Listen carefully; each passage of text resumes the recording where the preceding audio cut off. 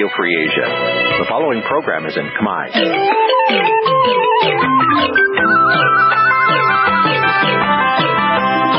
នេះជាកម្មវិធីផ្សាយវិទ្យុអាស៊ីសេរីនេះជាកម្មវិធីផ្សាយរបស់វិទ្យុអាស៊ីសេរីជាភាសាខ្មែរវិទ្យុអាស៊ីសេរីសូមស្វាគមន៍លោកអ្នកនាងទាំងអស់ពីរដ្ឋធានី Washington នៃសហរដ្ឋអាមេរិក ខ្ញុំបាទជីវិតាសូមជម្រាបសួរលោកអ្នកនាងប្រិមិត្តអ្នកស្ដាប់វិទ្យុអាស៊ីសេរីទាំងអស់ជាទីមេត្រីចា៎នាងខ្ញុំខែសុណងក៏សូមជម្រាបសួរលោកអ្នកនាងប្រិមិត្តអ្នកស្ដាប់វិទ្យុអាស៊ីសេរីទាំងអស់ជាទីគោរពរាប់អានយើងខ្ញុំសូមជូនកម្មវិធីផ្សាយសម្រាប់យប់ថ្ងៃពុធ7រោចខែបោះឆ្នាំម្សាញ់បញ្ញស័កពុទ្ធសករាជ2557ដែលត្រូវនឹងថ្ងៃទី22ខែមករាគ្រិស្តសករាជ2014ជាដំបូងនេះសូមអញ្ជើញអស់លោកអ្នកនាងស្ដាប់ព័ត៌មានប្រចាំថ្ងៃពិធី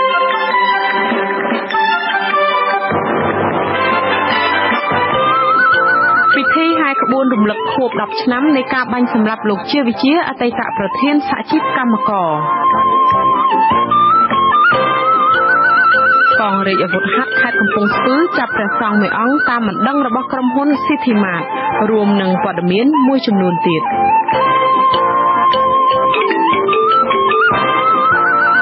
ចាជាបន្តទៅនេះនាងខ្ញុំខែសុណងសូមជូនព័ត៌មានទាំងនេះពុស្ដា មេដឹកនាំគណៈបកប្រឆាំងថ្លែងថានឹងបន្តជួយជំរុញទៅរដ្ឋាភិបាលឲ្យស្វែងរកមុខឃាតករពិតបាញ់សម្លាប់លោកជាវិជាអតីតមេដឹកនាំសហជីពសេរីកម្មករយកទៅផ្ដន់ទាទោសតាមច្បាប់ការថ្លែងបែបនេះក្នុងឱកាសប្រារព្ធខួប10ឆ្នាំនៃមរណភាពអតីតមេដឹកនាំកម្មករដ៏ល្បីឈ្មោះគឺលោកជាវិជា លោកជាវិជាត្រូវខ្មាន់កំភ្លើងបាញ់ស្លាប់ កាលពីឆ្នាំ2004ហើយគិតមកដល់ថ្ងៃទី22ខែមករាឆ្នាំ2014មានរយៈពេល10ឆ្នាំគត់ប៉ុន្តែគ្រួសារជនរងគ្រោះអះអាងថាសមត្ថកិច្ចមិនទាន់ចាប់ខ្លួនឃាតករពិតទៅផ្ដន់ទោសនៅឡើយចាលោកដែនអយុធ្យាមានសេចក្តីរាយការណ៍ នៅក្នុងឱកាសពិធីគម្រប់ខួប10ឆ្នាំនៃការបាញ់សម្លាប់លោកជាវិជាអតីតមេដឹកនាំសហជីពសេរីកម្មករកម្ពុជាព្រឹកថ្ងៃទី22ខែមករាមេដឹកនាំគណៈបកប្រឆាំងបានបដិញ្ញាថានឹងបន្តជំរុញឲ្យសមត្ថកិច្ចឬរដ្ឋាភិបាលស្វែងរកមុខឃាតករពិតយកមកផ្ដន្ទាទោសតាមច្បាប់លោកសំរងស៊ីនិងលោកកម្មសខាប្រធានអនុប្រធានគណៈបកសង្គ្រោះជាតិបានថ្លែងក្នុងពិធីអុជធូបគោរពវិញ្ញាណក្ខន្ធសពលោកជាវិជានៅទីតម្កល់រូបសំណាក នាសួនច្បារវិមានឯករាជ្យមុខវត្តលង្កាដោយបានអំពាវនាវដល់សាធារណជនឲ្យរួមគ្នាស្វែងរកយុត្តិធម៌ជូនសង្គមជាតិនាថ្ងៃអនាគត។ នៃឱកាសនោះលោកសំរងស៊ីបានថ្លែងរិះគន់សកម្មភាពដឹកនាំរបស់រដ្ឋាភិបាលកម្ពុជាបច្ចុប្បន្ននិងបានជំរុញឲ្យសមាជិកស្វែងរកមុខឃាតករពិតបាញ់សម្លាប់លោកជាវិជាយកទៅផ្ដន្ទាទោសដើម្បីផ្ដល់យុត្តិធម៌ជូនគ្រួសារជនរងគ្រោះយើងត្រូវតែបញ្ចប់វប្បធម៌ហិង្សាហើយត្រូវតែបញ្ចប់វប្បធម៌នីតិរដ្ឋភាពគឺអ្នកសម្លាប់គេសម្លាប់លោកជាវិជារងមុខអត់ឃើញសម្លាប់លោកធីវុធីលោករស់បានរ៉េតរងមុខអត់ឃើញសម្លាប់លោកឈុតវុធីរងមុខអត់ឃើញឃើញគឺសម្រាប់គេច្រើនណាស់ល្មមហើយល្មមបញ្ចប់វប្បធម៌ហិង្សាហើយវប្បធម៌នីតិរដ្ឋភាពហ្នឹងដើម្បីនាំមកនៅសន្តិភាពពិតប្រាកដសន្តិភាពផ្លូវកាយផ្លូវចិត្តដល់ប្រជាពលរដ្ឋខ្មែរទូទាំងប្រទេសលោកជាវិជាអតីតមេដឹកនាំសហជីពកម្មករត្រូវឃាតករបាញ់សម្លាប់នៅក្បែររបងវត្តលង្កាព្រឹកថ្ងៃទី22ខែមករាឆ្នាំ2004ក្នុងពេលកំពុងអានកសែតមកដល់ពេលនេះមានរយៈពេល10ឆ្នាំហើយប៉ុន្តែសាច់ញាតិជនរងគ្រោះបានអះអាងថាមិនទាន់ទទួលបានយុត្តិធម៌នៅឡើយទេលោកជាមនីប្រធានសហជីពសេរីកម្មករកម្ពុជាដែលបន្តវេនដឹកនាំសហជីពពីបងប្រុសថ្លែងថានឹងបន្តដាក់ពាក្យបណ្ដឹងប្តឹងទៅកាន់ស្ថាប័នពាក់ព័ន្ធមានតុលាការជាដើមដើម្បីឲ្យបន្តវេករកមុខឃាតករពិតដែលបានបាច់សម្លាប់លោកជាវិជាយកទៅផ្ដន្ទាទោសយើងអត់និយាយវែងឆ្ងាយទេដោយសារតែសុខសម្បឿននិងបនចំណាងដែលជាឃាតករដែលគេបានចាប់ថាជាឃាតករបាញ់លោកជាវិជានោះត្រូវបានគេដោះលែងហើយជាពិសេសគឺតុលាការកពូលបានដោះលែងយុត្តិធម៌ពរហើយហើយពីម្សិលមិញយើងបានទទួលទៅការពីតុលាការកពូលរុញឲ្យតុលាការសាលាដំបងដើម្បីបើកការទិញផ្ទឡើងវិញក្នុងករណីកិច្ចកម្មលោកជាវិជាចំណែកលោករងឈុនប្រធានសមាគមគ្រូបង្រៀនកម្ពុជាឯករាជ្យនិងអ្នកស្រីសេងធីរីប្រធានមជ្ឈមណ្ឌលអប់រំដើម្បីបរតខ្មែរដែលត្រូវជាមិត្តជិតស្និទ្ធសពលោកជាវិជាក៏បានរិះគន់ចំណាត់ការរបស់សមាជិកតែមិនទាន់អាចចាប់ខ្លួនឃាតករពិតសម្រាប់លោកជាវិជានិងអតីតមេដឹកនាំសហជីពកម្មករជាច្រើនទៀតបាននៅឡើយ។អ្នកស្រីសេងធីរីបានថ្លែងថារយៈពេល10ឆ្នាំមកនេះសពលោកជាវិជាមិនទាន់ទទួលបានយុត្តិធម៌ទេជាក់ស្ដែងឲ្យរដ្ឋាភិបាលមានជួយនីតិកម្ពុជាពីព្រោះនេះជាជួយនីតិផ្លូវការជាជួយនីតិរបស់គាត់ប៉ុន្តែយើងយើងក៏អត់និយាយលើរដ្ឋាភិបាលទាំងទាំងស្រុងដែរពីព្រោះយើងឃើញថារដ្ឋាភិបាលក៏អត់បានយកចិត្តទុកដាក់ហើយក៏មានភាពសង្ស័យថារដ្ឋាភិបាលក៏អាចមានដៃចូលរួមនៅក្នុងការធ្វើជាតិលើគាត់ដែរវិទ្យុអាស៊ីសេរីមិនអាចតាក់ទងលោកខៀវសុភ័ក្រមន្ត្រីនាំពាក្យក្រសួងមហាផ្ទៃដើម្បីបំភ្លឺបានទេតាមទូរស័ព្ទនៅថ្ងៃពុធទី22ខែមករាប៉ុន្តែកន្លងមកលោកបានអះអាងថាសំណុំរឿងឃាតកម្មសពលោកជាវិជាសមត្ថកិច្ចមិនទាន់បិទសំណុំរឿងនៅឡើយទេទាក់ទិនបញ្ហានេះកន្លងមកសមត្ថកិច្ចបានចាប់ខ្លួនបរិសុទ្ធចំនួន2នាក់គឺលោកបូនសំណាងនិងលោកសុកសំអឿនបញ្ជូនទៅកាន់តុលាការផ្ដន្ទាទោសហើយជនសង្ស័យទាំងពីរនោះក៏ត្រូវតុលាការឃុំខ្លួនក្នុងពន្ធនាគារអស់ជាច្រើនឆ្នាំ ប៉ុន្តែក្រោយមកត្រូវបានដោះលែងដោយសាររកឃើញគ្មានកំហុសឆ្គងសម្រាប់មន្ត្រីសង្គមស៊ីវិលជាតិនិងអន្តរជាតិបានចាត់ទុកការចាប់ខ្លួនលោកបនសំណាងនិងលោកសុកសំអឿនថាជាឃាតករសពនិមិត្ត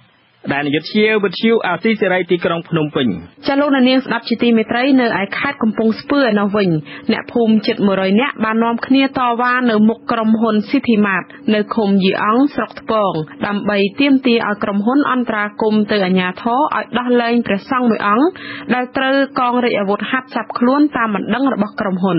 តំណាងប្រជាពលរដ្ឋលោករ៉ាខនថ្លែងថាព្រះសង្ឃព្រះនាមថុលត្រូវបានកម្លាំង PM ស្រុកថ្ពងចាប់ខ្លួនបន្ទាប់ពីព្រះអង្គបានដឹកដើមអាកាសយ៉ាដែលបិណ្ឌបាតពីពលរដ្ឋដើម្បីយកទៅធ្វើអាស្រមសំណាក់ធម៌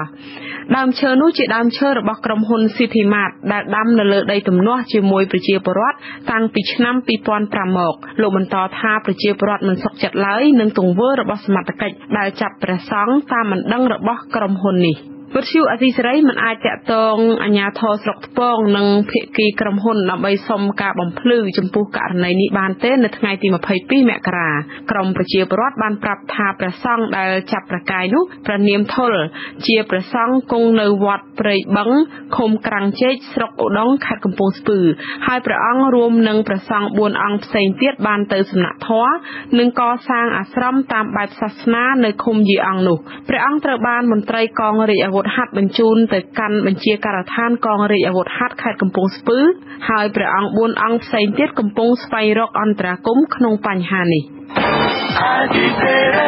ចាលោកនាងស្ដាប់ជាទីមេត្រីសាលាដំបងរាជធានីភ្នំពេញហាមមិនអោយគណៈប្រតិភូគណៈបកសង្គ្រោះជាតិទៅសួរសុខទុក្ខជនត្រូវចោទជាច្រើនអ្នកដែលកំពុងឃុំខ្លួននៅពន្ធនាគារត្រពាំង plong ទេការហាមសួរសុខទុក្ខនេះត្រូវបានថ្នាក់ដឹកនាំជាន់ខ្ពស់គណៈបកសង្គ្រោះជាតិរិះគន់ថាជាទង្វើផ្ដាច់ការហើយជាជំហានដើរថយក្រោយនៃការអនុវត្តលទ្ធិប្រជាធិបតេយ្យនៅកម្ពុជាចាអ្នកនាងទេពសុរាវីរាយការណ៍ ចៅក្រមស៊ើបសួរសាលាដំបងរាជធានីភ្នំពេញលោកជាសុខហៀងបដិសេធសំណើសុំជួបសួរសុខទុក្ខជនជាប់ចោតដែលឃុំខ្លួនក្នុងពន្ធនាគារត្រពាំង plong របស់គណៈបកសង្គ្រោះជាតិក្នុងលិខិតមួយដែលលោកជាសុខហៀងផ្ញើទៅប្រធានគណៈកម្មាធិការប្រតិបត្តិគណៈបកសង្គ្រោះជាតិកាលពីថ្ងៃទី21មករាឲ្យដឹងថាសំណើមកសាលារាជធានីភ្នំពេញសូមឲ្យថ្នាក់ដឹកនាំគណៈបកសង្គ្រោះជាតិ20នាក់ ចូលទៅសួរសុខទុក្ខជនជាប់ចោតដែលឃុំក្នុងពន្ធនាគារត្រពាំង plong លោកដែលជាចៅក្រមស៊ើបសួរមិនអនុញ្ញាតតាមសំណុំពរទេ ហើយក្នុងលិខិតលោកជាសុខហៀងក៏មិនបានបញ្ជាក់ពីមូលហេតុដែលមិនអនុញ្ញាតនោះដែរប្រធានគណៈកម្មាធិការប្រតិបត្តិគណៈបកសង្គ្រោះជាតិបានដាក់លិខិតមួយទៅចៅក្រមស៊ើបសួរសាលាដំបងរាជធានីភ្នំពេញកាលពីសប្តាហ៍មុន សូមឲ្យគណៈប្រតិភូគណៈបកសង្គ្រោះជាតិទៅជួបសួរសុខទុក្ខមនុស្ស23នាក់ដែលជាប់ឃុំក្នុងពន្ធនាគារត្រពាំង plong នៅខេត្តកំពង់ចាមជាប់ព្រំប្រទល់ប្រទេសវៀតណាមបន្ទាប់ពីពួកគេទាំងនោះត្រូវកងកម្លាំងចម្រុះចាប់ខ្លួននៅពេលតវ៉ាដំឡើងប្រាក់ឈ្នួលកម្មករ160ដុល្លារកាលពីដើមខែមករា ការមិនអនុញ្ញាតនេះត្រូវបានអនុប្រធានគណៈកម្មាធិការប្រតិបត្តិគណៈបក្សសង្គ្រោះជាតិលោកម៉ៅមនីវ៉ាន់យល់ឃើញថាជាទង្វើផ្ដាច់ការមួយហើយថារដ្ឋាភិបាលកម្ពុជា កំពុងបោះជំហានដើរថយក្រោយនៅការអនុវត្តលទ្ធិប្រជាធិបតេយ្យក្នុងនាមជាអ្នកតំណាងរាស្ត្រជាប់ឆ្នោតសូមទៅជួបសួរសុខទុក្ខបែរទៅជាមិនអនុញ្ញាតឲ្យបែបនេះវាជាទង្វើមួយដែលសបញ្ជាក់ឲ្យឃើញច្បាស់ណាស់ថាប្រទេស កម្ពុជាកំពុងតែឈានទៅរករបបផ្ដាច់ការឈានទៅរកកលៈទេសៈមួយដូចកាលពីទសវត្សរ៍ឆ្នាំ8ផ្លាយប៉ុណ្ណឹងវិញហើយបាទអ្នកគ្រប់គ្រងបច្ចេកទេសអង្កេតនៃអង្គការលីកាដូលោកអំសំអាតសម្ដែងការសោកស្ដាយចំពោះចៅក្រមស៊ើបសួរដែលមិនអនុញ្ញាតឲ្យគណៈប្រតិភូគណៈបកសង្គ្រោះជាតិទៅជួបសួរសុខទុក្ខជនជាប់ចោតទាំងនោះលោកថាតាមច្បាប់ជនជាប់ចោតមានសិទ្ធិប្រស្រ័យតាក់ទងជាមួយមេធាវី ជាមួយក្រុមគ្រួសារនិងមិត្តភ័ក្តិវាលើកលែងតែការសួរសុខទុក្ខនោះធ្វើឲ្យប៉ះពាល់ដល់នីតិវិធីនៃការស៊ើបអង្កេតប៉ុណ្ណោះទើបខាងចៅក្រមឬតុលាការបដិសេធមិនឲ្យជួបសួរសុខទុក្ខបានបើសិនជាការសួរសុខទុក្ខបានបែបនឹកធននរណាក៏អាចជួបសួរសុខទុក្ខបានដែរក្នុងនាមមនុស្សស្គាល់គ្នាដើម្បីសួរសុខទុក្ខណាហើយយើងគិតអំពីរឿងមនុស្សធម៌នៃការជួបជុំនឹងសិទ្ធិរបស់ពលរដ្ឋពីព្រោះគាត់ជាជនជាប់ចោតក៏ដោយព្រោះគាត់នៅមានសិទ្ធិសេរីភាព ដោយពលរដ្ឋដទៃដែរលើកលែងតែមួយនេះគឺថាការគុំខ្លួនគាត់គាត់អស់សេរីភាពក្នុងការដើរហើរតែសិទ្ធិផ្សេងទៀតគាត់នៅមានទាំងអស់ហើយយើងគួរតែចែកឲ្យដាច់ទៅកុំគិតខ្លាចស្អើតាក់ទងនឹងរឿងនយោបាយមកលោកឡំជាមួយនឹងបញ្ហាមនុស្សធម៌ណាសកម្មជនសិទ្ធិមនុស្សនិងកម្មករ23នាក់ជាប់ចោទពីបទប្រើប្រាស់ហិង្សាដោយចេតនាមានស្ថានទម្ងន់ទោស បទបំផ្លិចបំផ្លាញទ្រព្យសម្បត្តិដោយចេតនាមានស្ថានទម្ងន់ទោសបទបិទផ្លូវសាធារណៈបង្កឲ្យខូចសណ្ដាប់ធ្នាប់សាធារណៈនិងបទជេរប្រមាថចៅក្រមសាលាដំបងរាជធានីភ្នំពេញក៏បានបដិសេធមិនឲ្យជនជាប់ចោទទាំងនោះនៅក្រៅឃុំបណ្ដោះអាសន្នតាមការស្នើសុំរបស់មេធាវីនិងក្រុមគ្រួសារអង្គការសង្គមស៊ីវិលចាត់ទុកការសម្រេចនោះគឺបង្ហាញថាតុលាការនៅពុំទាន់មានឯករាជ្យនៅឡើយព្រោះសំណុំរឿងនេះបានពាក់ព័ន្ធនឹងរឿងនយោបាយ នាងខ្ញុំទេពសុរាវី វិទ្យុអស៊ីសេរីភ្នំពេញចាលោកនាងស្ដាប់ជាទីមេត្រីពាក់ព័ន្ធទៅនឹងបញ្ហានេះដែរក្រុមមេធាវីការពារក្តីជនជាប់ចោតទាំង22នាក់ក្នុងចំណោម23នាក់នៅរសៀលថ្ងៃនេះក៏បានដាក់ពាក្យប្តឹងទៅសាលាឧទ្ធរជំទាស់ទៅនឹងសេចក្តីសម្រេចរបស់សាលាដំបងរាជធានីភ្នំពេញដែលបដិសេធចំពោះការសុំនៅក្រៅឃុំបណ្ដោះអាសន្ននោះប្រធានវត្ថុសម្បុកឃុំបានប្រកាសជាថ្មីម្ដងទៀតនៅថ្ងៃនេះអំពីគម្រោងធ្វើបាតកម្មនៅថ្ងៃច័ន្ទទី27ខែមករាឆ្នាំ2014តទៅដើម្បីទាមទារឲ្យក្រសួងព័ត៌មានអនុញ្ញាតឲ្យវត្ថុសម្បុកឃុំដំឡើងកម្លាំងផ្សាយបន្ត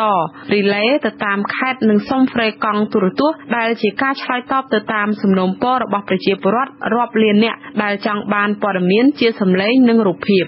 លោកមុំសណងដូបានបញ្ជាក់ថានៅថ្ងៃសុក្រទី24មករានេះលោកនឹងធ្វើសន្និសីទកាសែតអំពីគម្រោងធ្វើបាតកម្មនេះនៅម៉ោង8ព្រឹកនៅស្ថានីយ៍វិទ្យុសំបុកឃុំផ្ទះលេខ33ផ្លូវ26បេតេភូមិថ្នោតជ្រុំសង្កាត់បឹងទំពុនខណ្ឌមានជ័យរាជធានីភ្នំពេញ។ ចាលោកនាងទើបតែបានស្ដាប់ព័ត៌មានប្រចាំថ្ងៃរបស់វិទ្យុអេស៊ីសេរីដែលរៀបចំជូនដោយនាងខ្ញុំខែសុណងចាសូមលោកនាងរងចាំស្ដាប់នេតិវេទិកាអ្នកស្ដាប់វិទ្យុអេស៊ីសេរីនៅពេលបន្តិចទៀតនេះ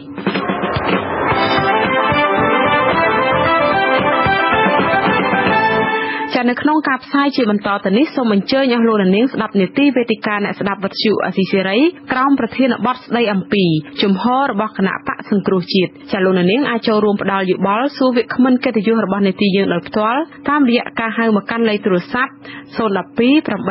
911លេខ011 611 711និងលេខ023 211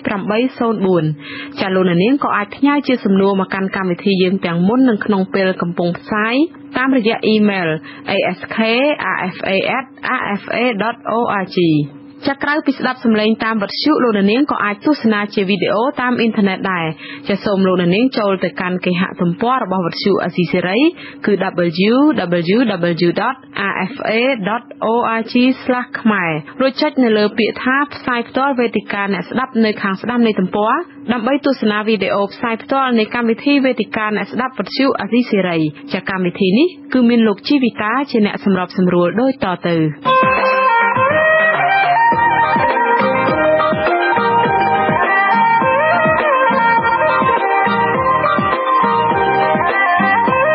ទីកាអ្នកស្ដាប់វិទ្យុអាស៊ីសេរី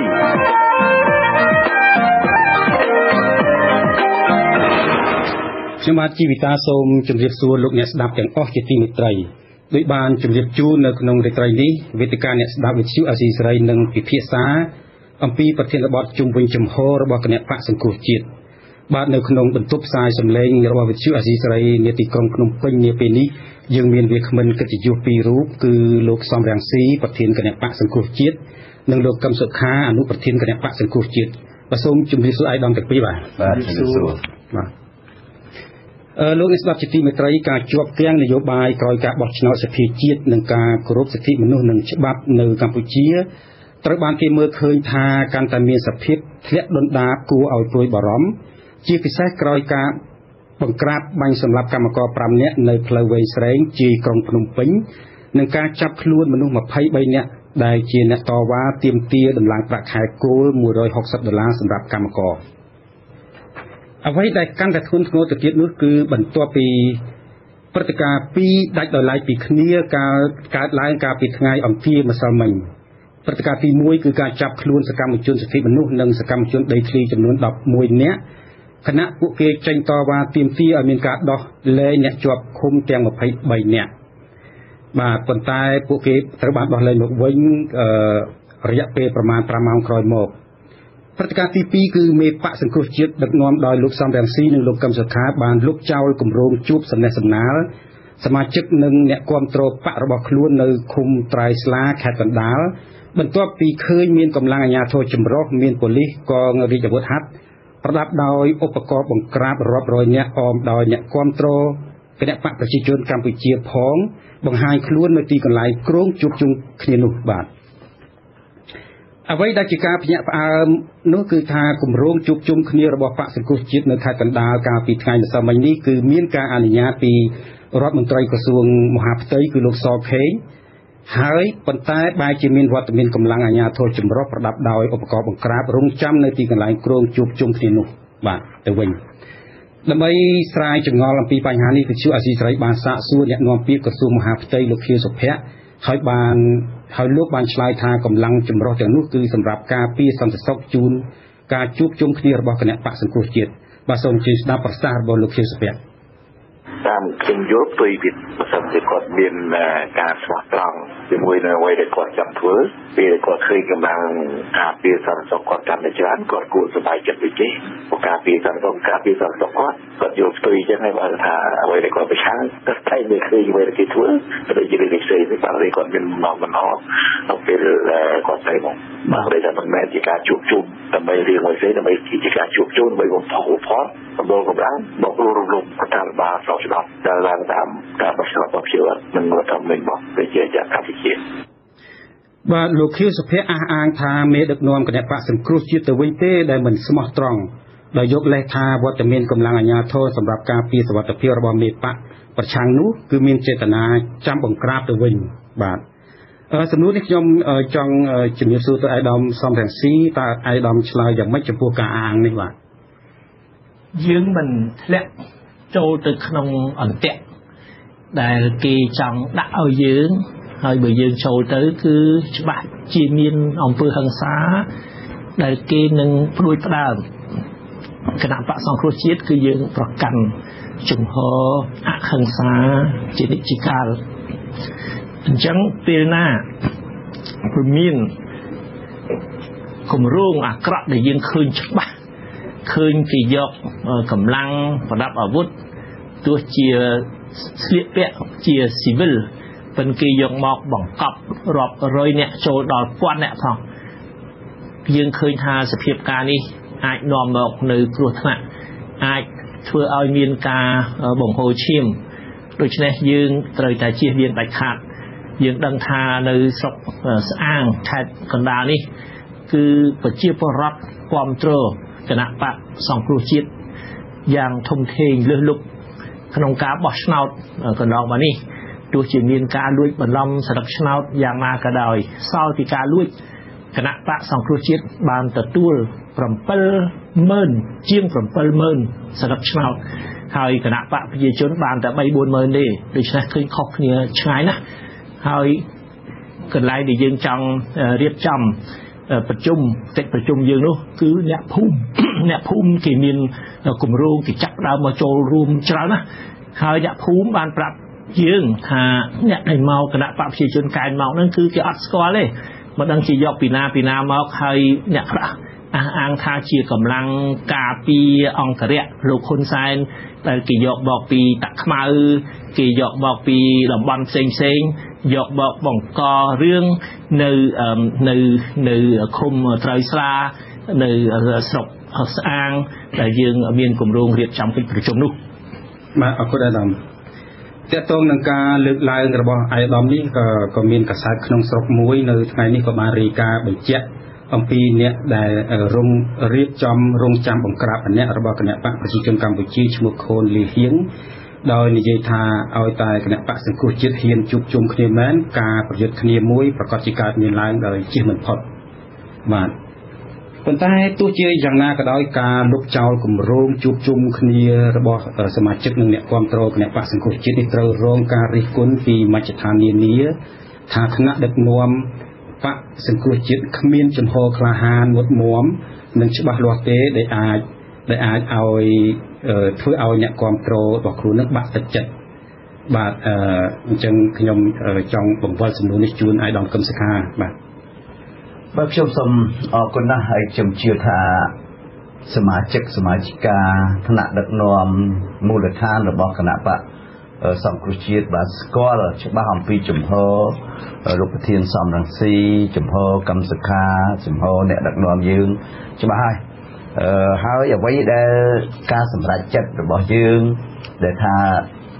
ធ្វើឬមិនធ្វើនេះគឺយើងស្ដាប់សំណុំពរពីថ្នាក់ដឹកនាំយើងមូលដ្ឋានទៅវិញទេ តាមពិតខ្ញុំជាមួយលោកធានសំស៊ីរៀបចំខ្លួនត្រៀមទៅហើយប៉ុន្តែថ្នាក់ដឹកនាំនៅខេត្តនៅស្រុកនៅឃុំគាត់ថាយកល្អកុំអោយពួកខ្ញុំទៅ ពីព្រោះគណៈបព្វជិជននឹងគេដាក់មនុស្សមកបំរុងនឹងប្រើអំពើហិង្សាហើយ ដូចជាសកម្មជនរបស់គណៈបព្វជិជនម្នាក់ឈ្មោះខូននេះនេះបាននិយាយប្រាប់អ្នកខ្សែទាំងដែលអ្នកខ្សែគឺថាគេត្រៀមប្រយុទ្ធហើយបាទព្រោះព័ត៌មានយើងច្បាស់ណាស់ពីព្រោះគណៈបកសង្គ្រោះជាតិសម័យនេះព័ត៌មានច្បាស់ខ្លាំងព្រោះមនុស្សនៅក្នុងគណៈបកប្រជាជននៅក្នុងជួរកងទ័ពជួរបលិសជួរអីនេះគេស្រឡាញ់គណៈបកសង្គ្រោះជាតិច្រើនណាស់រឿងអីល្បិចកលរបស់គណៈបកប្រជាជនហ្មងធ្វើប្រហែលយើងដឹងទាំងអស់អញ្ចឹងហើយ រឿងនេះគឺយើងដឹងហើយគោលការណ៍របស់គណៈបកសង្គ្រោះជាតិគឺអហិង្សាគឺយើងអត់ចង់ឲ្យបង្ហូរឈាមខ្មែរមិនមែនបង្ហូរឈាមកម្មសខាសំរងស៊ីទេបើសិនពួកយើងខ្ញុំទៅ គឺរវាងខ្មែរនិងខ្មែរនោះដែលខ្មែររបស់គណៈបព្វជិជនដាក់ទៅណាបាទហើយនឹងខ្មែរដែលគ្រប់គ្រងគណៈបកសង្គ្រោះជាតិនឹងប៉ះទង្គិចគ្នាដល់ប៉ះទង្គិចគ្នាទៅ បង្ហូរឈាមយើងអត់ចង់ឲ្យខ្មែរបង្ហូរឈាមទេព្រោះយើងដឹងព័ត៌មានគេឲ្យមកច្បាស់ដោយលោកធានសំស៊ីមានភាសាអញ្ចឹងមិនមែនប្រជាពលរដ្ឋក្នុងឃុំត្រើយស្លានិងរបស់គណៈបព្វជិជននឹងមកទេគឺមនុស្ស ដែលមកគេបញ្ជូនមកពីក្រៅទៅស្លៀកស៊ីវិលគេមានចងមុនមកគេគេរុំសញ្ញាសម្គាល់គេកសែងក្រហមក្រោយមកដល់គេបញ្ជាកុំអោយដឹងទៅគេដោះយកមកចងដៃយកកំបោះក្រហមចងដៃវិញដូច្នេះយើងដឹងផែនការរបស់នេះច្បាស់ណាស់អញ្ចឹងហើយបានជាយើងមិនទៅនេះ លុបចោលនេះគឺដោយសារយើងអត់ចង់ឃើញប្រជាពលរដ្ឋខ្មែរបង្ហូរឈាមខ្មែរនៅក្នុងទីតាំងដែលយើងប្រជុំនោះទេមិនណានេះហើយដែលជាមូលហេតុធំជាងគេមូលហេតុមួយទៀតគឺយើងមុននឹងទៅយើងបានពិគ្រោះគ្នាមុនថាយើងលុបចោលសូម្បីតែអ្នកការទូតគ្រាន់តែឃើញថាយើងសម្រេចចិត្តអត់ទៅគេគេអបអរសាទរ គេឲ្យយោបល់យើងគេថាយើងតើត្រូវហើយបើយើងទៅធ្វើនៅមានអ្នកធ្វើឲ្យបរហូឈាមគេពិបាកមើលដូចថ្ងៃ2ថ្ងៃ3មករានោះគេខ្លាចអញ្ចឹងទៀតហើយបង្ហូរឈាមខ្មែរទៀតដូច្នេះអ្នកការទូតអ្នកអីគេគេគេសរសើរពួកយើងធ្វើការសម្រេចចិត្តត្រូវដែលលោកចៅហ្នឹងអញ្ចឹងពួកយើងខ្ញុំធ្វើនេះគឺប្រជាពលរដ្ឋភាគច្រើនជាពិសេស គណៈកម្មការរបស់យើងនេះក៏ថាពួកយើងខ្ញុំលុបចោលនេះត្រូវបើអត់លុបចោលនេះខ្មែរបោឈាមគ្នាដូចថ្ងៃ2ថ្ងៃ3មករាហ្នឹងហើយបាទទោះជាយ៉ាងណាក៏ដោយតកតងនឹងការលុបចោលគម្រោងជួបជុំអ្នកគ្រប់គ្រងបកសង្គ្រោះជាតិនេះក៏មានការប្រៀបធៀបថាលោកសំរងស៊ីនិងលោកកឹមសុខាមិនមានចិត្តសឿងឬចិត្តក្លាហានដោយស្ត្រីនៅបង្កក់និងមេដឹកនាំសហជីពប្រសង់និងកម្មកររោងចក្រទេដែលពួកគេទាំងនោះ ទោះជាដឹងថាអាចនឹងត្រូវចាប់ខ្លួនក៏ដោយក៏ហ៊ានចេញមុខដើរហែក្បួន ដាក់ញត្តិនៅតាមស្ថានទូតបរទេសដើម្បីទាមទារឲ្យមានការដោះលែងអ្នកជាប់ឃុំទាំង23អ្នកពីពន្ធនាគារត្រពាំង plong ដែរបាទជាពិសេសអាយដាមក៏សំរងស៊ីអាយដាមធ្លាប់បានរិះគន់លោកនាយករដ្ឋមន្ត្រីហ៊ុនសែនថាកំសាកជាងស្រីគឺគឺកំសាកជាងលោកស្រីយីងឡាក់ឈិនវ៉ា នាយករដ្ឋមន្ត្រីថៃក្នុងន័យនេះមានការរិះគន់ថាអាយដាមអាចកំសាកជាងស្ត្រីនៅបង្កក់ក្នុងការប្រឈមនឹងអាញាធរដើម្បីការពារធានាសេរីភាពដោយដែលដែលធានាដោយរដ្ឋធម្មនុញ្ញកម្ពុជាបាទតើអាយដាមឆ្លងយ៉ាងម៉េចដែរបាទដោយលោកកឹមសុខាបានមានប្រសាសន៍បាញ់មិញយើងអត់មានបារម្ភថាគេចាប់យើងគេមកធ្វើអីយើងផ្ទាល់ទេទោះជាមានបំណងមុនមកដល់យើង គឺច្បាស់ជាមានការប៉ះទង្គិចជាមួយអ្នកគ្រប់គ្រងគណៈបកសង្គ្រោះជាតិហើយយើងមិនមែនទៅល្ងងទៅចូលក្នុងអន្ទាក់ដែលគណៈបកប្រជាជនចង់ដាក់ឲ្យយើងទេគណៈបកប្រជាជនឥឡូវហ្នឹងគឺកំពុងតែស្លន់ស្លោកំពុងតែប្រឈមមុខនឹងបញ្ហាជាច្រើនបន្ទាប់ពី អ្នកដឹកនាំគណៈបកប្រជាជនក្នុងជួររដ្ឋាភិបាលបានបាញ់សម្លាប់កម្មករបានចាប់កម្មករបានធ្វើបាបកម្មករគឺមានការថ្កោលទោសយ៉ាងទម្ងន់ពីសហគមន៍អន្តរជាតិដូច្នេះមានការប្រឈមមុខដាក់គ្នារវាងគណៈបកប្រជាជននិងសហគមន៍អន្តរជាតិ ទាំងមជ្ឈដ្ឋាននយោបាយទាំងមជ្ឈដ្ឋានសេដ្ឋកិច្ចមជ្ឈដ្ឋានពាណិជ្ជកម្មអ្នកបញ្ជាទិញសម្លៀកបំពាក់ទិញអីហ្នឹងគេដាក់សម្ពាធខ្លាំងណាស់អញ្ចឹងគណៈបកប្រជាជនប្រហែលជាចង់បង្វែរដានចង់បង្កើតរឿងថ្មីទៀត ហើយនឹងឆ្លៀតឱកាសនោះនឹងឆ្លើយដាក់គណៈបកសង្គ្រោះជាតិដូចគេបាញ់សម្លាប់កម្មករគេឆ្លើយដាក់ថាកម្មករជាអ្នកបង្កអំពើហិង្សាមែនតើគឺគណៈបកប្រជាជន សមត្ថកិច្ចទេយើងអត់លេងតបៃនឹងទេវាអត់មានចំណេញអីដល់ប្រទេសជាតិយើងត្រូវតែជៀសវាងអំពើហិង្សាហើយជំរុញឲ្យគេ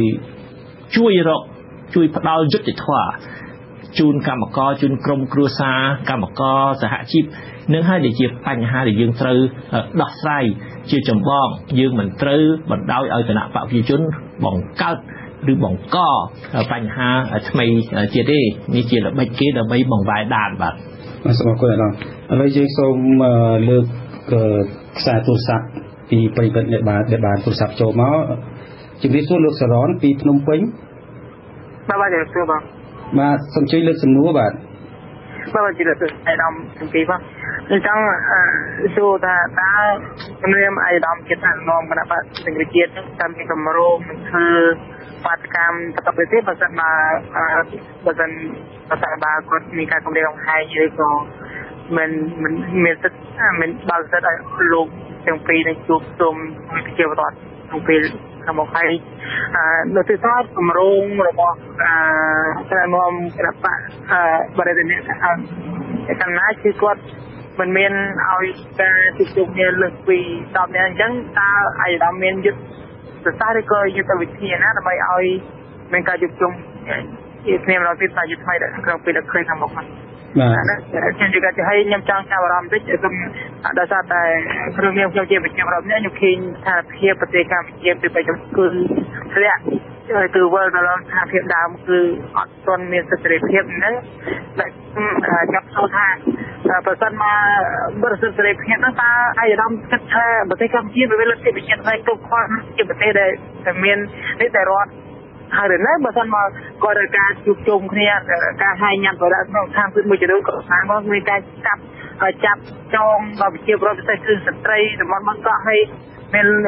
សម្រាប់សេវាកម្មមួយចំនួនហើយអរគុណលោកសរនអរគុណអរគុណណាយើងស្ដាប់សំណួរលោកបានហើយអឺបាទសំណួរគាត់សួរថាអៃដាមមានគម្រោងធ្វើបាតកម្មអីទៀតទេបើរដ្ឋាភិបាលនៅតែចង់បង្ក្រាបដូច្នេះបាទអៃដាមសង្ស៊ីម្ដងទៀតមានតែយើងជ្រើសរើស ពេលវេលាដូចខ្ញុំនិយាយបាញ់មិញមានសម្ពាធអន្តរជាតិយ៉ាងខ្លាំងមកលើរដ្ឋាភិបាលលោកហ៊ុនសែនសប្តាហ៍ថ្ងៃសម្ពាធរបស់គេ គឺឲ្យបញ្ឈប់អំពើហិង្សាឲ្យវេកមុខអ្នកដែលសម្លាប់កម្មករឲ្យដោះលែងអ្នកដែលជាប់ឃុំឃាំងហើយអ្វីដែលសំខាន់គឺឲ្យផ្ដល់សិទ្ធិ សេរីភាពជូនប្រជារាស្ត្រខ្មែរវិញសិទ្ធិសេរីភាពដែលមានចែងនៅក្នុងរដ្ឋធម្មនុញ្ញពីព្រោះរដ្ឋធម្មនុញ្ញឥឡូវនេះត្រូវគេព្យួរត្រូវគេព្យួរដូចគេជន់ឈ្លីអញ្ចឹងគឺគេរំលោភគេមិនគោរពសិទ្ធិសេរីភាពឲ្យយើងតវ៉ាឲ្យយើងសម្ដែងមតិឲ្យយើងធ្វើបាតកម្មឥឡូវនេះសហគមន៍អន្តរជាតិកំពុងតែជុលជាមួយរដ្ឋាភិបាលលោកហ៊ុនសែនអញ្ចឹងយើងត្រូវជំរុញឲ្យសម្ពាធ ពីអន្តរជាតិកាន់តែខ្លាំងឡើងខាងទៀតហើយខ្ញុំជឿថាមិនយូរទេ ក្នុងរយៈពេលដ៏ខ្លីខាងមុខគឺរដ្ឋាភិបាលទីក្រុងភ្នំពេញ គឺច្បាស់ជាយកចិត្តទុកដាក់ហើយនឹងផ្ដល់សិទ្ធិធ្វើបាតកម្មឲ្យយើងវិញពេលណារដ្ឋាភិបាលគោរពរដ្ឋធម្មនុញ្ញឡើងវិញគោរពសិទ្ធិធ្វើបាតកម្មតវ៉ាសម្ដែងមតិ ពេលនោះយើងចាប់ផ្ដើមធ្វើបាតកម្មក្នុងទ្រង់ទ្រាយធំដូចមុនហើយមានទៅកាន់តែធំជាងមុនថែមទៀតតែដល់មានកម្រងថ្ងៃខែច្បាស់លាស់ទេថានឹងធ្វើបាតកម្មធំឡើងវិញដូចខ្ញុំនិយាយអបាញ់មិញគឺអាស្រ័យពេលណារដ្ឋាភិបាលសពថ្ងៃគោរពរដ្ឋធម្មនុញ្ញគោរពសិទ្ធិប្រជាពលរដ្ឋសម្ដែងមតិធ្វើបាតកម្មពេលនោះយើងនឹងចាប់ផ្ដើមធ្វើបាតកម្មឡើងវិញភ្លាមបាទអឺ ក្នុងការរិះគន់លោកនាយករដ្ឋមន្ត្រីហ៊ុនសែនដោយអត់សំចៃមាត់លោក Brad Adams នាយកប្រតិបត្តិនៃអង្គការឃ្លាំមើលសិទ្ធិមនុស្សអន្តរជាតិ Human Rights Watch បាននិយាយថាការដែលលោកនាយករដ្ឋមន្ត្រីហ៊ុនសែនអាចកាន់ក្តោបក្តាប់អំណាចរហូតមកដល់ពេលនេះគឺដោយសារមធ្យោបាយពីរយ៉ាង ទី1គឺប្រព្រឹត្តអំពើពុករលួយ និងទី2គឺប្រើប្រាស់ហិង្សាបង្ក្រាបអ្នកមានមតិយល់ផ្ទុយពីលោក បាទដូច្នេះបទពិសោធន៍បង្ហាញថាអ្វីដែលលោកនាយករដ្ឋមន្ត្រីហ៊ុនសែនធ្វើបានជោគជ័យលោកចេះតែបន្តធ្វើតទៅទៀតឧទាហរណ៍មុនព្រឹត្តិការណ៍កើតមាននៅឃុំត្រៃស្លា គឺកាលពី3ថ្ងៃមុននេះពីខេត្តក្រចេះលោកនាយករដ្ឋមន្ត្រីហ៊ុនសែនបានព្រមានដល់អំពាវនាវដល់អ្នកគ្រប់គ្រងបកប្រជាជនឲ្យត្រៀមខ្លួនដើម្បីទប់ទល់នឹងបកប្រឆាំងហើយជាលទ្ធផលក៏បានជោគជ័យ ដោយឯកឧត្តមទាំងពីរបានលុបចោលគម្រោងជួបជុំគ្នាកាលពីថ្ងៃម្សិលមិញនេះដែរបាទតើតើនឹងរឿងនេះគឺខ្ញុំចង់ជំរាបសួរឯកឧត្តមឯកឧត្តមកឹមសុខាឬថាឯកឧត្តមអឺក្រុងនឹងចាក់ចេញពីក្រុងភ្នំពេញទៅតាមបណ្ដាខេត្តទៀតនៅពេលខ្លីខាងមុខនេះចង់សួរថាបើមានកម្លាំងអាញាធរបង្ហាញខ្លួននៅទីដែលអាយដាមគ្រងទៅជួបនោះតើអាយដាមនឹងនឹងលុបចោលទៀតឬក៏យ៉ាងណាបាទបើរឿង ការរំខាន ការគំរាមកំហែង បំផិតបំភ័យ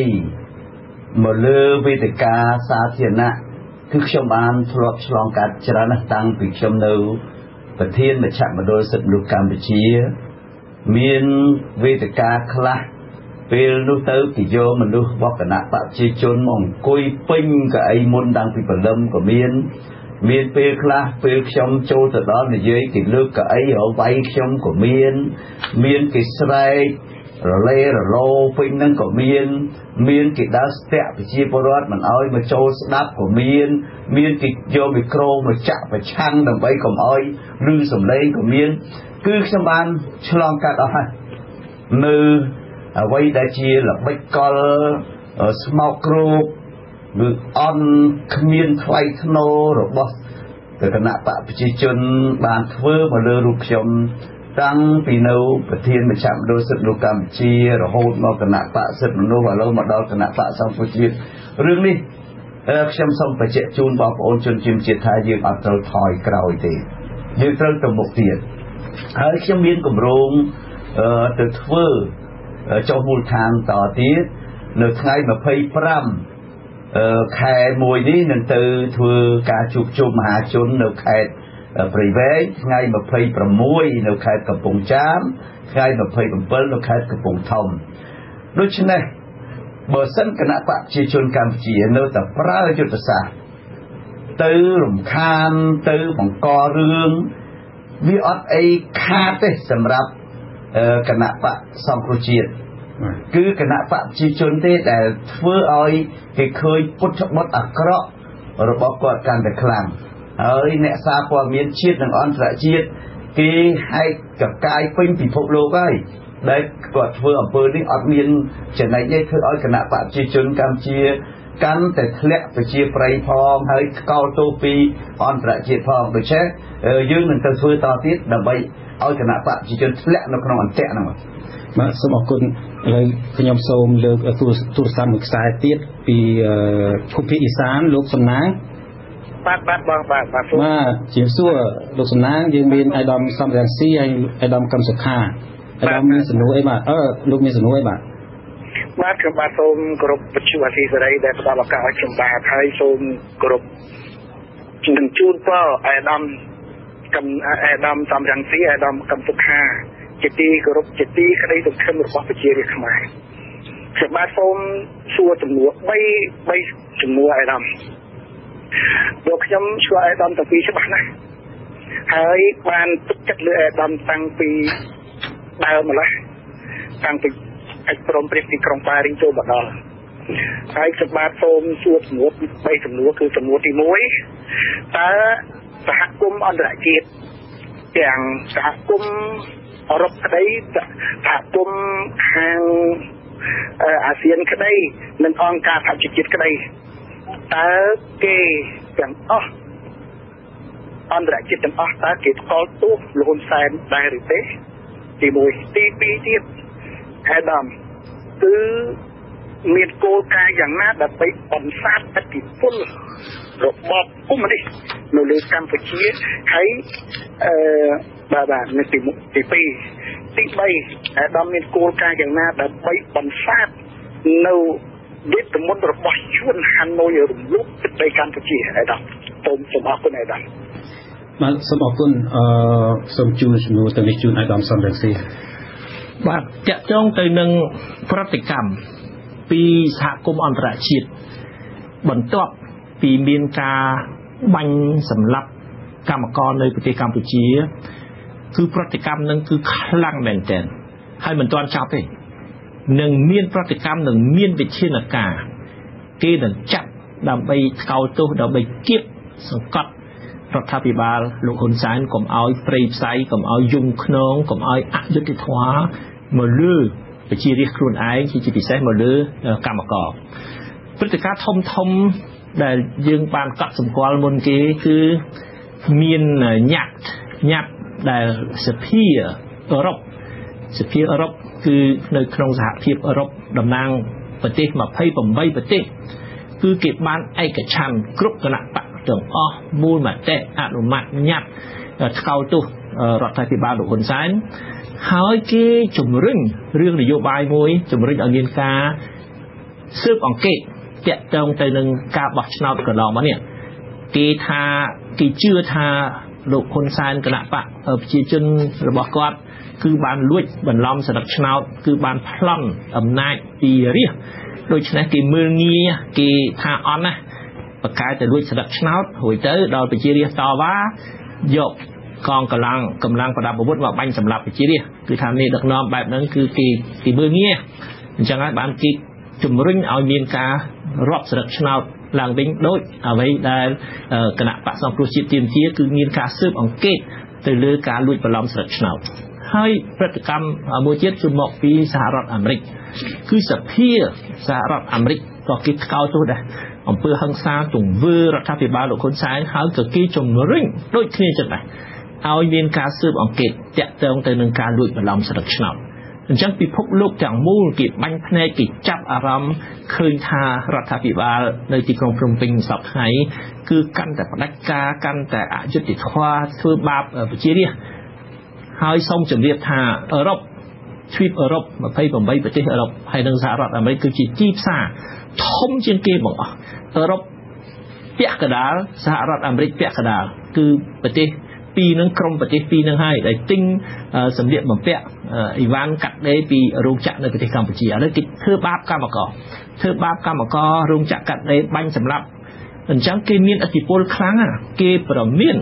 ពួកថៅកែក្រុមហ៊ុនគេប្រមានអ្នកដឹកនាំប្រទេសសប្ថ្ងៃនេះថាបើធ្វើបាបកម្មករជិះជាន់កម្មករសម្រាប់កម្មករបែបនេះទៀតគេឈប់ទិញគេបិទផ្សារទីផ្សាររបស់គេគឺពេលនឹងមានវិបត្តិធំ វិបត្តិសេដ្ឋកិច្ចវិបត្តិសង្គមអញ្ចឹងរដ្ឋាភិបាលលោកហ៊ុនសែនមិនអាចប្រងើយកន្តើយចំពោះឥទ្ធិពលនៃសហគមន៍អន្តរជាតិនឹងទេបាទបាទសូមអរគុណឥឡូវសូមលើកទូរស័ព្ទមួយខ្សែទៀតពីភ្នំពេញលោកចិន្តាលោកចិន្តាសូមបាទជំរាបសួរបងជំរាបសួរបាទសូមលើកជាសំណួរបាទខ្ញុំចង់សួរទៅអាយដាមទាំងពីរថាតើអាយដាមមានគម្រោងនឹងដាក់អឺ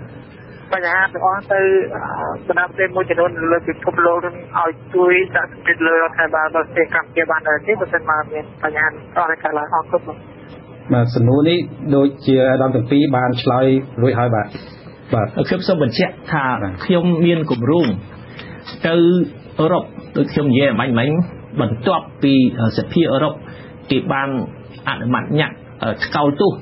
រដ្ឋាភិបាលលោកហ៊ុនសែនហើយទាមទារឲ្យមានការស៊ើបអង្កេតឬការបោះឆ្នោតដើម្បីផ្ដល់យុត្តិធម៌ជូនម្ចាស់ឆ្នោតគឺវាស្របទៅ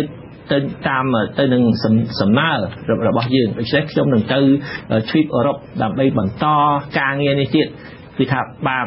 ញាក់ពីសភាអឺរ៉ុបហើយយើងនឹងទៅតាមដានថារដ្ឋាភិបាលប្រទេសនីមួយៗនៅទ្វីបអឺរ៉ុបគោរព តាមសេចក្តីសម្រេចរបស់សភានេះហើយត្រូវបន្តការងារដើម្បីដាក់សម្ពាធឲ្យកាន់តែខ្លាំងឡើងថែមទៀតមកលើរដ្ឋាភិបាលផ្ដាច់ការនៅប្រទេសកម្ពុជាហើយនៅប្រទេសស្វីស ក៏អង្គការសហជីវជាតិដែលមានការិយាល័យសិទ្ធិមនុស្សរបស់គេសប្តាហ៍ក្រោយនេះក៏គេមានចាប់ផ្ដើមប្រជុំមួយដើម្បីវាយតម្លៃស្ថានភាពសិទ្ធិមនុស្សនៅប្រទេសកម្ពុជាហើយព្រឹត្តិការណ៍ចុងក្រោយនៅប្រទេសកម្ពុជានេះធ្វើឲ្យគេចាប់អារម្មណ៍យ៉ាងខ្លាំងដូច្នេះខ្ញុំនឹងមានគម្រោងខ្ញុំមានគម្រោងទៅតាក់ទងជាមួយថ្នាក់ដឹកនាំនៃប្រទេសមួយចំនួននៅទ្វីបអឺរ៉ុបចាប់ពីស្អែកនេះទៅបាទបាទ អាយដាមមានសាសថាអាយដាមនឹងចាក់ចេញពីប្រទេសកម្ពុជានៅថ្ងៃស្អែកនេះទៅអឺរ៉ុបបាទទៅប្រហែលថ្ងៃដែរអាយដាមទៅ4 10ថ្ងៃប៉ុន្តែខ្ញុំអាចវិលមកវិញគ្រប់ពេលវេលាបើមានព្រឹត្តិការណ៍អីសំខាន់ខ្ញុំអាចវិលត្រឡប់មកវិញបានភ្លាមប៉ុន្តែទោះជាយ៉ាងណាក៏ដោយគឺលោកកឹមសុខានឹងជាប្រធានស្ដីទីប៉ុន្តែខ្ញុំពេលដែលខ្ញុំមិននៅគឺលោកគុំសខាតាក់ទងជាមួយខ្ញុំជាប់លាប់ នឹងអាចធ្វើសេចក្តីសម្រេចគ្រប់បែបយ៉ាងគ្រប់ពេលវេលាអាដាមមិនខ្លាចរដ្ឋាភិបាលសពរដ្ឋាភិបាលលោកនាយករដ្ឋមន្ត្រីហ៊ុនសែនហាមមិនឲ្យអាដាមចូលមកវិញទេមិនងាយទេបាទមិនងាយទេគឺខ្ញុំអត់មានធ្វើអីខុសរឿងអីហាមគេទៅទេទៅទេប្រទេសកម្ពុជាមិនមែនប្រទេសរបស់លោកហ៊ុនសែនម្នាក់ឯងទេណា ស្រុកខ្មែរទាំងអស់គ្នាឯតាហើយខ្ញុំមានបានធ្វើអីខុសខ្ញុំគ្រាន់តែការពារផលប្រយោជន៍ជាតិហើយការពារផលប្រយោជន៍ប្រជារាស្ត្រខ្មែរមានខុសអីខុសខុសអ្នកណាដែលសម្លាប់រាស្ត្រអ្នកណាដែលជិះជាន់ធ្វើបាបប្រជារាស្ត្របំភ្លេចបំផ្លាញជាតិប្រព្រឹត្តអំពើពុករលួយឲ្យរាស្ត្ររងទុក្ខវេទនាខុសខុសអ្នកហ្នឹងទេមិនមែនខុសខ្ញុំហើយទុំសុខាគណៈបកសង្គ្រោះជាតិទេអាដាមចាក់ចេញនៅក្នុងអំឡុងពេលដែលកំពុងជាប់គាំងហើយស្ថានភាពកាន់តែធ្ងន់ធ្ងរដុនដាបទៅហ្នឹងអាដាម មិនខ្លាចរងការរិះគន់ថាអាដាមបានគិតទៅក្រៅអីទេបាទផ្ទុយទៅវិញគឺទៅរកដំណោះស្រាយសម្ពាធឥឡូវមានតែមកពីក្រៅទេដូចខ្ញុំនិយាយឲ្យបាញ់មិញសហគមន៍អន្តរជាតិជាពិសេសទ្វីបអឺរ៉ុបដែលគេទិញផលិតផលសម្លៀកបំពាក់ជាង50%ពួករោងចក្រ នៅស្រុកខ្មែរពួកថៅកែពួកហ្នឹងគឺខ្លាចខ្លាចក្រុមហ៊ុនអន្តរជាតិដែលជាអ្នកបញ្ជាទិញបើគេមិនទិញទេគឺមានបញ្ហាធំហើយអញ្ចឹងឥឡូវនេះយើងត្រូវតែបំផុសបំផុលឲ្យគេគៀបសង្កត់អ្នកដែលគេមានឥទ្ធិពលនយោបាយឥទ្ធិពលសេដ្ឋកិច្ចឥទ្ធិពលពាណិជ្ជកម្មហ្នឹងឲ្យគេគៀបសង្កត់រដ្ឋាភិបាលលោកហ៊ុនសែនកុំឲ្យបាញ់សម្លាប់កម្មករទៀតឲ្យដោះលែងអ្នកដែលកំពុងតែជាប់ឃុំឃាំងឲ្យស៊ើបអង្កេតវែកមុខអ្នកដែលបាញ់សម្លាប់គេហើយកុំឲ្យយកប្រព័ន្ធតឡាការមកគម្រាមកំហែងមេសហជីពឬអ្នកដឹកនាំគណៈបកសង្គ្រោះជាតិទៀតអរគុណឥឡូវខ្ញុំសូមលើកទូរស័ព្ទមួយខ្សែទៀតពីខេត្តបាត់ដំបងលោកវុធីជំរាបសួរ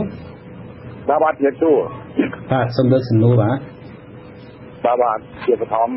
ពីបាទសូមគោរពលោកប្រធានសម្រាប់ពីនិងលោកអនុប្រធានកម្មសខាដែលជាអនាគតយុទ្ធសាស្ត្រនៃប្រទេសជាតិស្វែងផងបាទអរគុណជំរាបសួរ ពីគឺសូមគោរពជនជាតិខ្មែររួមជាតិទាំងអស់និងសូមចូលរួមមរណទុក្ខចំពោះបងប្អូនកម្មករកម្មការនីបាទដែលបានត្រូវអាជ្ញាធររដ្ឋាភិបាលកម្ពុជារងហើយបាញ់បង្ក្រាបចាំងយងក្នុងគុកខឹងលឹកសម័យពលពតទៀតបាទសម័យពលពតមុនវាសម្លាប់វាទើបអន្តេសិតតែពេលនេះចុះពីលើឡានយកកំភ្លើងបាញ់អាមេបាញ់រ៉ាហ្វាល់ពីកំភ្លើងគ្រៀមបាទ បាញ់សម្លាប់អញ្ចឹងកំតុំចូលរួមមរណៈទុកចំពោះបងប្អូនខ្មែរជាខ្មែរដូចគ្នាស្នេហាជាតិដូចគ្នាដែលរងគ្រោះដោយអង្គើជំរងនេះអញ្ចឹងខ្ញុំសូមជួដូចអនុប្រធានកម្មសខាសូមលើកឆ្លើយហើយច្បាស់ថាតើលោកខ្ញុំសង្ឃឹមទេដែលរដ្ឋាភិបាលបង្កើតគណៈកម្មការអីចម្រុះពីទិសង្កេតរោពួកជាតិកនបាទពួកអ្នកបាញ់ដៃបងអ្នកដៃបងសម្រាប់ ជិនប្រូត្រង់បាទលោកមានសង្ឃឹមទេតែរដ្ឋាភិបាលអ្នកតែបង្ក្រាបខ្លួនឯងហើយរដ្ឋាភិបាលបង្កើតគណៈកម្មការទើបមិនខ្លួនឯងបាទសូមចាំបាទបាទអរគុណហើយដំបើខ្ញុំសូមជម្រាបជូនថាលោកធានចំទីបានមានប្រសាសន៍ហើយថាយើងពីមុនយើងធ្វើបាតកម្មឥឡូវយើងបន្តធ្វើការងារទូត ណាការគៀបសង្កត់ទៅលើរដ្ឋាភិបាលបច្ចុប្បន្នហ្នឹងហើយយើងក៏ធ្វើពីរឿងបញ្ហាផ្លូវច្បាប់ទៀតយើងទាំងរៀបចំឲ្យមានមេធាវីដើម្បីប្រមូលឯកសារដើម្បីប្តឹងទៅអ្នកដែលបាញ់ទៅលើប្រជាពលរដ្ឋនឹងហើយអ្នកបញ្ជាវាប្តឹងទៅតុលាការព្រហ្មទណ្ឌអន្តរជាតិ ហើយសំណួរលោកវុធីសួរថាតើយើងមានសង្ឃឹមថាគេបង្កើតគណៈកម្មការស៊ើបអង្កេតនឹងរបស់រដ្ឋាភិបាលនឹងអាចរកយុត្តិធម៌ឃើញទេតាមខ្ញុំយល់ឃើញថាបើសិនណារដ្ឋាភិបាលមិនព្រមមិនបានដោះស្រាយរកយុត្តិធម៌ជូនប្រជាពលរដ្ឋប្រជាពលរដ្ឋមានសិទ្ធិប្តឹងទៅតុលាការអន្តរជាតិអញ្ចឹងហើយ បើសិនរដ្ឋាភិបាលនេះរកឃើញអាហ្នឹងគេអត់បាច់ចាំប្តឹងទៅតុលាការអន្តរជាតិរកយុត្តិធម៌បានអញ្ចឹងការដែលគាត់មិនរកយុត្តិធម៌ឲ្យយើងបានណាជាឱកាស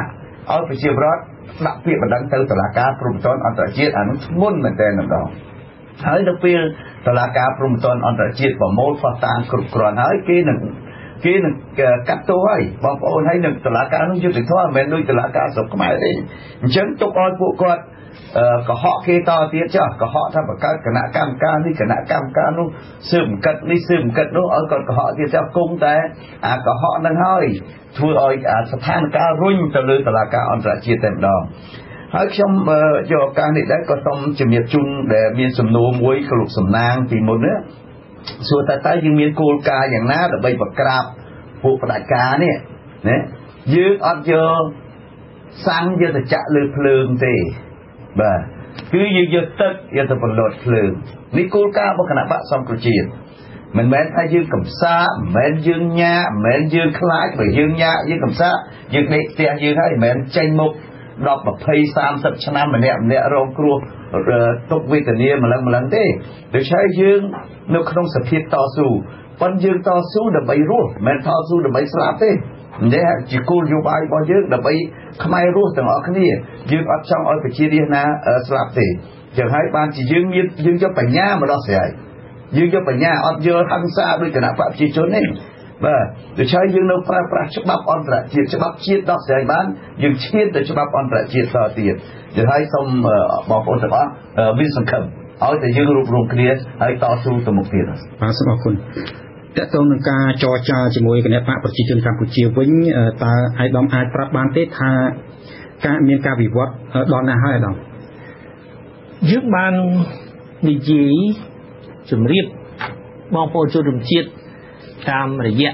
សារព័ត៌មានដែលសាកសួរយើងជាញឹកញាប់យើងចង់ណាស់ចង់ឲ្យមានដំណោះស្រាយនយោបាយ ដោយសន្តិវិធីឲ្យប្រទេសយើងបានឈានទៅមុខដើម្បីដោះស្រាយបញ្ហាផ្សេងផ្សេងទៀតដូចបញ្ហាអំពើពុករលួយភាពក្រីក្រយើងត្រូវតែដោះស្រាយតែដើម្បីដោះស្រាយបញ្ហាទាំងអស់នេះត្រូវតែមានគោលការណ៍មួយសិនគឺគោលការណ៍ឈរលើយុត្តិធម៌ជូនប្រជារាស្ត្រការពិតការបោះឆ្នោតណាប្រជារាស្ត្រអត់សុខចិត្តទេលទ្ធផលនៃការបោះឆ្នោតដែលគេប្រកាស គោជបគណៈបព្វជិជនខ្លួនឯងប្រកាសគឺប្រជារាស្ត្រអត់សុខចិត្តទេយើងធ្វើតាមប្រជារាស្ត្រប្រជារាស្ត្រថាគុំទទួលយកហើយកុំចូលដៃជាមួយគណៈបព្វជិជនទៅចូលក្នុងរដ្ឋសភាទៅសហការជាមួយគេអញ្ចឹងហើយបានយើងបានប្រកាសថាមុននឹងយើងចូលប្រជុំរដ្ឋសភាតើតែមានការស៊ើបអង្កេតសិនស៊ើបអង្កេតលើការបោះឆ្នោតលាតត្រដាងការពិតលាតត្រដាងការពិតដឹងឲ្យច្បាស់ហើយទទួលស្គាល់ទាំងអស់គ្នាថាប្រជារាស្ត្រលោកបានបោះឆ្នោតយ៉ាងម៉េច យើងរកការពិតហើយយើងគោរពឆន្ទៈប្រជារាស្ត្រហ្នឹងឯងការទៀមទាដាច់ខាតរបស់គណៈបកសង្គ្រោះជាតិគឺត្រូវឲ្យមានការស៊ើបអង្កេតឥឡូវនេះគឺសហគមន៍អន្តរជាតិគ្រប់គ្រងគណៈបកសង្គ្រោះជាតិពេញទំហឹងឲ្យមានការស៊ើបអង្កេតទៅលើការបោះឆ្នោតកន្លងមកនេះតែយើងបើកច្រកមួយទៀតណាថាគណៈបកប្រជាជនមិនព្រមស៊ើបអង្កេតតាក់ទងទៅនឹងការបោះឆ្នោតកន្លងមកហើយនោះមិនអីអាតែសូមឲ្យមានការបោះឆ្នោតឡើងវិញ បើមានការបោះឆ្នោតឡើងវិញអានឹងយើងយើងផ្ដល់ឱកាសជូនប្រជារាស្ត្រឲ្យលោកមិនបង្ហាញឆន្ទៈរបស់លោកហើយលើកនេះយើងមុននឹងបោះឆ្នោតឡើងវិញនេះយើងត្រូវតែជំរុញឲ្យមានការកែតម្រង់ការបោះឆ្នោតកុំឲ្យមានការលួចបន្លំដូចមុនទៀតហើយបើមានការធានាតែប៉ុណ្ណឹងថាមានការបោះឆ្នោតឡើងវិញបន្ទាប់ពីការបដូរឲ្យមានការបដូរកជបរៀបចំប្រព័ន្ធបោះឆ្នោតឲ្យបានត្រឹមត្រូវ គឺបើមានត្រឹមតែការធានាប៉ុណ្ណឹងយើងសុខចិត្តចូលប្រជុំសភានឹងហើយអ្វីដែលកំពុងតែប្រជិញប្រជុំគ្នាយ៉ាងហោចណាស់ក៏ស្ទាបស្ទង់គ្នាឲ្យយល់ឲ្យច្បាស់ថាម្នាក់ម្នាក់អាចយល់ព្រមដល់កម្រិតណាដើម្បីមានដំណោះស្រាយមួយដែលដែលយើងចង់បានបាទ របាយការណ៍នានាដែលមិនផ្លូវការបានឲ្យដឹងថាគណៈបកសង្គ្រោះជាតិទៀមទានៅចំណុចមួយចំនួនដោយខាងក្រោមនេះទើបសុខចិត្តចូលរួមក្នុងរដ្ឋសភាទី1ទាមទារឲ្យមានការបង្កើតគណៈកម្មការជំនាញរដ្ឋសភាមួយទៀតឲ្យបានគ្រប់ចំនួន10ដើម្បីឲ្យបកសង្គ្រោះជាតិមានតំណែងប្រធានគណៈកម្មការ5និងគណៈបកប្រជាជនមានតំណែងប្រធានគណៈកម្មការ5ដែរទី2បកសង្គ្រោះជាតិត្រូវមានស្ថានីយទូរទស្សន៍និងវិទ្យុខ្លួនឯង ហើយទី3ដោយអាយដាមបានមានប្រសាសន៍ហើយគឺត្រូវការបោះឆ្នោតឡើងវិញតើចំណុចទាំងអស់នេះអឺត្រឹមត្រូវដែរទេបាទអាដាមកំស្ការម្ដងបើខ្ញុំសូមបញ្ជាក់ជូនបងប្អូនជនជាតិថាចំហគណៈបកសង្គ្រោះជាតិគឺអត់មានផ្លាស់ប្ដូរទេដោយយើងធ្លាប់ជម្រាបជូនជារឿយៗហើយហើយមានអ្នកខ្លះមកបំភ្លៃបង្ខូចការបំភ្លៃនិយាយការមិនពិត ចំហគណៈបកសង្គ្រោះជាតិយើងបានបដូរនៅឯកសារគ្នារវាងគណៈបកប្រជាជននិងគណៈបកសង្គ្រោះជាតិដោយគណៈបកសង្គ្រោះជាតិបានដាក់ឯកសារចុងក្រោយថ្ងៃទី15នេះគឺមានចំណុចទី1គឺយើងទៀមទាឲ្យបោះឆ្នោតឡើងវិញនេះគឺចំណុចទី1មុននឹងយើងចូលជុំសភាតតែសម្រាប់ឯកភាពគ្នាគោលការណ៍ថាព្រមបោះឆ្នោតឡើងវិញសិន ហើយទី2បើថាព្រមបោះឆ្នោតឡើងវិញហ្នឹងបោះឆ្នោតនៅមុនអាណត្តិមុនអាណត្តិនៅក្នុងឆ្នាំណាបើតានៅក្នុងគណៈបកសង្គ្រោះជាតិថាយ៉ាងយូរផុត2ឆ្នាំទៀតយើងបោះយើងល្មមបោះឆ្នោតបានបាទហើយទី2ទី2យើងសូមឲ្យកែតម្រង់ ការបោះឆ្នោតហ្នឹងគឺការកែកែតម្រង់ការបោះឆ្នោតដើម្បីឲ្យការបោះឆ្នោតមានលក្ខណៈជឿទុកចិត្តបានទាំងអស់គ្នាដូចជាដូកោជបដូចជាការចុះឈ្មោះប្រជាពលរដ្ឋដែលបាត់ឈ្មោះអីឡើងវិញទាំងអស់ហ្នឹងក្នុងកែតម្រង់ប្រព័ន្ធការងារបោះឆ្នោតហ្នឹងទី3យើងទៀមទាឲ្យប្រព័ន្ធសបផ្សាយនេះឲ្យមានសមត្ថភាពបើគណៈបកប្រជាជនកម្ពុជា មានបច្ចុទូទួប្រើគណៈបក សង្គ្រោះជាតិក៏ត្រូវតែទទួលបានបច្ចុទូទួប្រើដូចគ្នាដែរហើយទី4គឺបញ្ហាសភាសភានេះគឺគេបំភ្លើងយើងគណៈបកសង្គ្រោះជាតិមិនដែលទៅសុំបង្កើតគណៈកម្មការបន្ថែមអីទេអត់មានរស់ស៊ីដោយគណៈបកប្រជាជនបង្កើតតំណែងបន្ថែមសម្រាប់ចែកគ្នាទេគឺគណៈបកសង្គ្រោះជាតិទាមទារឲ្យមានតុល្យភាពនៅក្នុងគណៈកម្មាធិការអចិន្ត្រៃយ៍មានន័យថាគណៈកម្មការអចិន្ត្រៃយ៍មាន12រូប ត្រូវមាន6រូបម្នាក់ម្នាក់បាទ6រូបមកខាងមកគណៈបកយើងអត់មានទាមទារឲ្យបង្កើតថ្មីរឿងដែលថាចង់បន្ថែមថ្មីថែមបង្កើតគណៈកម្មការជារឿងរបស់គណៈបកប្រជាជនបើបំភ្លឺទេយើងអត់មានដែលបានព្រមព្រៀងជាមួយគាត់ពេលណាទេដែលនេះហើយជាគោលការណ៍សំខាន់សំខាន់របស់យើងហើយដូចយើងនៅក្រៅប្រទេសយើងទាមទារកែតម្រង់ស្ថាប័នជាតិផ្សេងៗទៀត បាទបាទសូមអរគុណអាដាមឥឡូវសូមលើកទូរស័ព្ទមួយខ្សែទៀតពីក្រុងភ្នំពេញលោករ៉ានីបបាទជំរាបសួរបងបាទជំរាបសួរបាទសូមលើកសំណួរយើងនៅពេលតិចបាទនឹងសូមគោរពជំរាបសួរអាយដាមអឺសមស៊ីធានអ្នកបាក់គ្រប់ជាតិហើយនឹងអនុធានអាយដាមកឹមសុខាផងដែរបាទអឺសំណួររបស់ខ្ញុំខ្ញុំសូមសួរទៅអាយដាមទាំងពីរថាតើគោលជំហររបស់គណៈបព្វជិសង្គ្រោះជាតិទៅថ្ងៃខាងមុខ ពីថ្ងៃនេះទៅទៅថ្ងៃខាងមុខតើមានវិធីសាស្ត្រយ៉ាងដូចម្តេចដើម្បីដោះស្រាយបញ្ហាជាតិធំធំដែលនៅក្នុងចំពោះមុខបច្ចុប្បន្ននិងទៅថ្ងៃអនាគតហើយសំណុំពររបស់ខ្ញុំគោរពជាពលរដ្ឋទូទៅដែរថាសូមឲ្យអាយដាមទាំងពីរហ្នឹងសូមឲ្យជឿពួកគុំនេះដែលពីពីចិន9មកដល់សប្តាហ៍នេះពេកថាបើសិនជាអាយដាមចូលត្រូវតែមានគោលជំហរឲ្យច្បាស់លាស់ថាត្រូវតែកែកោជបនឹងហើយនឹងបោះឆ្នោតឡើងវិញបើបានកាន់តែឆាប់កាន់តែល្អហើយសូមឲ្យអាយដាមបើសិនពលប្រជាពលរដ្ឋបោះឆ្នោតសប្តាហ៍នេះចង់ឲ្យអាយដាមធ្វើជានាយករដ្ឋមន្ត្រីហើយនឹងប្រធានជាតិដឹកនាំប្រទេសបច្ចុប្បន្នហ្នឹងបាទបាទសូមអរគុណលោករ៉ានីយើងស្វាគមន៍តិចខ្ញុំទុកពេលឲ្យអាយដាមសំរស៊ីឆ្លើយសំណួររបស់លោកថាតើអាយដាមមានវិធីសាស្ត្រយ៉ាងម៉េចដើម្បីដោះស្រាយបញ្ហាធំធំចំពោះមុខវិធីសាស្ត្រគឺវិលត្រឡប់ទៅរកប្រជារាស្ត្រវិញ ស្វែងរកការពិតតកតងទៅនឹងឆន្ទៈប្រជារាស្ត្រលោកប្រជារាស្ត្រលោកចង់បានអ្វីលោកចង់ឲ្យមានការដឹកនាំប្រទេសយ៉ាងម៉េចដោយគណៈបកណាអញ្ចឹងហើយបានគណៈបកប្រជាជនតាមរយៈកោជបគឺគេបានបំភ្លៃការពិតគេបានបណ្ដោយឲ្យគណៈបព្វជិជនប្លន់អំណាចពីរាជយើងអត់សុខចិត្តទេយើងត្រូវតែរកការពិតគឺផ្ដាល់យុត្តិធម៌ជូនម្ចាស់ឆ្នោតទី1ទី2 បើថាមិនព្រមរកការពិតតាក់ទងទៅការបោះឆ្នោតកន្លងមកទេគឺយើងត្រូវតែជំរុញឲ្យមានការបោះឆ្នោតដល់វិញអានឹងយើងទៅរកប្រជារាស្ត្រម្ដងទៀតតែម្ដងនេះយើងត្រូវតែធ្វើម៉េចឲ្យមានការរៀបចំការបោះឆ្នោតគឺបដូរកោជបជាមុនសិនមុនចូលក្នុងការបោះឆ្នោតម្ដងទៀតនេះហើយជាទូទៅគឺយើងត្រូវតែគោរពរដ្ឋធម្មនុញ្ញពីព្រោះរដ្ឋាភិបាលឥឡូវនេះគឺជារដ្ឋាភិបាល កើតមកពីរដ្ឋប្រហាររដ្ឋធម្មនុញ្ញគឺគេបានជន់ឈ្លីរដ្ឋធម្មនុញ្ញគេបានប្រជុំសភាដោយខុសច្បាប់សភាមានចំនួនតែ68នាក់ក៏គេប្រជុំបានគេថានឹងសភាគ្រប់គ្រាន់ប៉ុន្តែមែនតើអត់គ្រប់គ្រាន់ទេ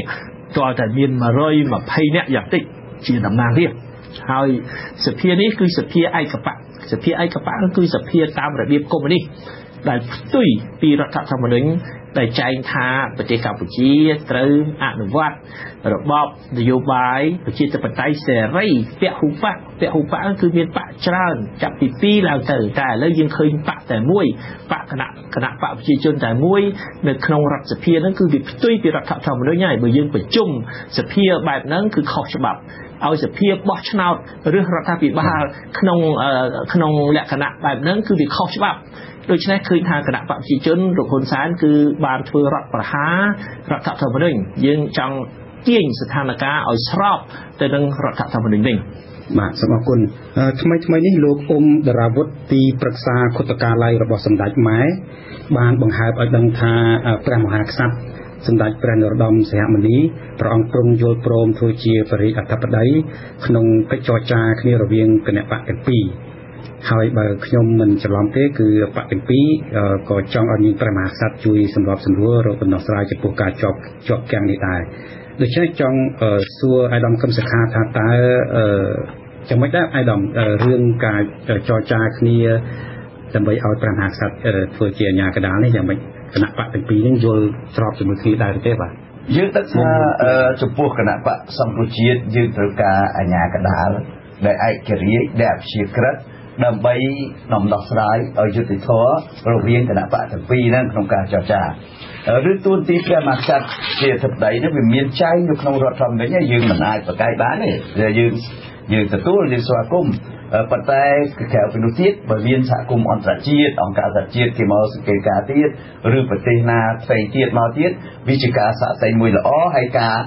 ជឿទុកចិត្តគ្នាកាន់តែរឹងមាំដែរហើយខ្ញុំដោយសារពីវិនិច្ឆ័យចុងក្រោយមិញលោកសួរថាសូមសំណូមពរឲ្យពួកយើងខ្ញុំកុំជឿកុំចាញ់បោកកុំនេះខ្ញុំសូមសន្យាជាមួយបងប្អូនជនជាតិថាពួកយើងខ្ញុំអត់ចាញ់អត់ចាញ់កលល្បិចពួកកុំនេះទេណាបងប្អូនណាបើគ្មានការបោះឆ្នោតឡើងវិញបើគ្មានការស៊ើបអង្កេតឲ្យបានយុត្តិធម៌ទេពួកយើងខ្ញុំអត់ចូលប្រជុំទៀតទេបាទបាទសូមអរគុណដែលអស់ពេលហើយខ្ញុំសូមអរគុណ